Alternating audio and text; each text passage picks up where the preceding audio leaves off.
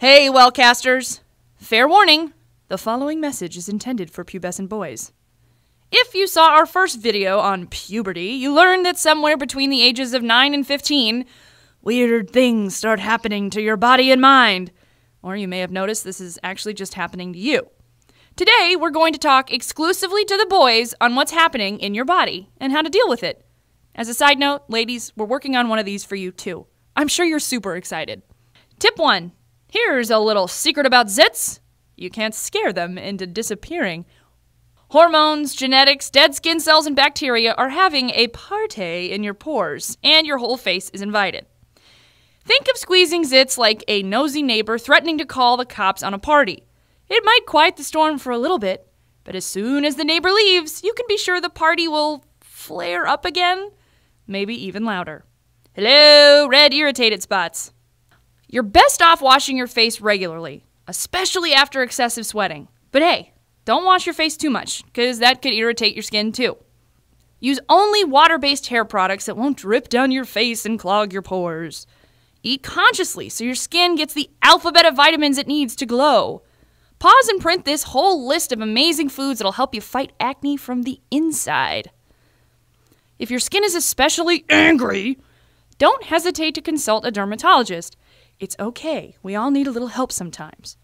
And, you know, dermatologists are like psychiatrists for skin. Tip two Hey! Can you hear me all the way up there? You're a little taller than the last time we spoke. One of the trickiest parts about puberty is that everyone develops at different rates. The once tallest guy in class suddenly finds himself looking up to girls. And the former class shrimp finds himself oof, hitting his head on doorways. Hello. Here's the thing the growth spurt part of puberty is kind of a free fall. You can't control your height or how fast you gain it, trust me. But what you can control is your posture. That's right, your posture. A solid stance goes a long way to looking cool and composed, even if you're kind of short.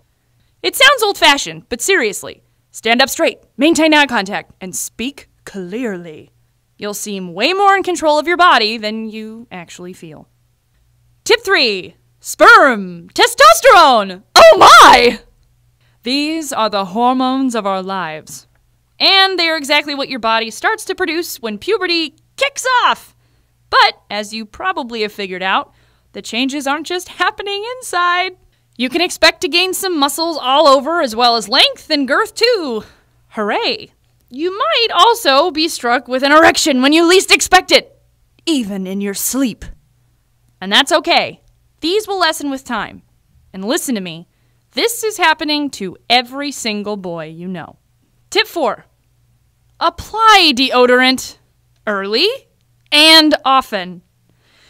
We here at Wellcast prefer antiperspirants, which not only mask body odor, but help calm sweat glands to prevent your body from sweating as much in the first place. Look, in puberty, your sweat glands are working in overdrive, especially if you play after school sports or lift weights or whatever.